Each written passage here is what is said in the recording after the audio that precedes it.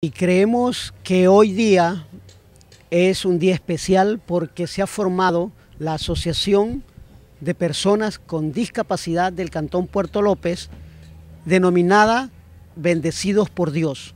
Así se le ha denominado, se formó la directiva. Vamos a trabajar en estos días con la personería jurídica que el Ministerio de Inclusión Social va a otorgar y ha sido una experiencia bien, bien, bien buena, inolvidable. La gente tiene muchísima necesidad y dentro de los objetivos no es solo presentar proyectos, sino también eh, traer a capacitadores, eh, hablar con los ministerios para que le dé charlas, eh, asistencia médica y un sinnúmero de situaciones que las personas con discapacidad tienen.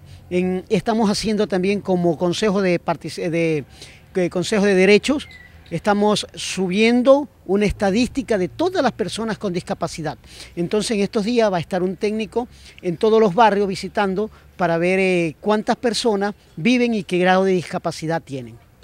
Eh, ¿Cuáles son los requisitos para que las personas con esta discapacidad puedan este, estar en...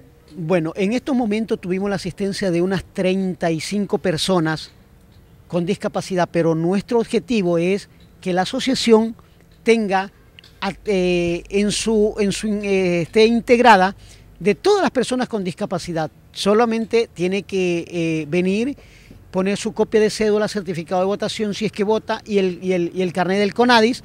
Y si tiene un grado bastante de discapacidad, la persona que lo representa, poner esta, esta, esta, estos documentos y nosotros lo anexaremos a la personería jurídica y lo haremos inscribir en el MIES como socio, sea en este caso activo o socio pasivo.